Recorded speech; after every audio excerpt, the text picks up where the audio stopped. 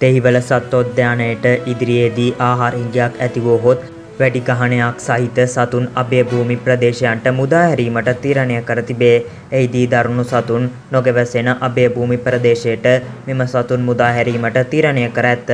සත්වෝද්‍යාන තුළ ප්‍රදර්ශනය සඳහා එක් වර්ගයකින් සත්තු හතරක් පමණක් සිටීම සෑහෙන නිසා වැඩි ගණනක් සහිත මුවන් මීමින්නන් වැනි සතුන් වනජීවී දෙපාර්තමේන්තුවේ අනුමැතිය සහිතව එලෙස තෝරා දෙන භූමි ප්‍රදේශයන්ට නිදහස් කිරීමට නියමිතව ඇත.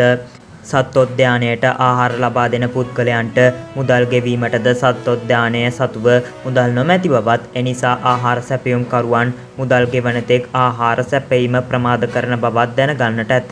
මේ අතර රට පුරා ගෝඨා ගෝගම් බිහිවීමෙන් අනතුරුව ගෝඨා ගෝ රටක් නිර්මාණය වන බව සමාජවාදී තරුණ සංගමේ සංවිධායක එරංග ගුණසේකර මහතා සඳහන් කරයි.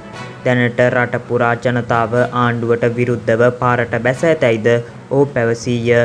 මාලිගා කුමන්ත්‍රණ හරහා පිහිටුවන ලද මෙම ආණ්ඩුව ජනතාව නොපිළිගන්නා බවත් සියලු දෙනාට ගෙදර යන්නයි අද ජනතාව පවසන බවත් හෙතෙම සඳහන් කළේය.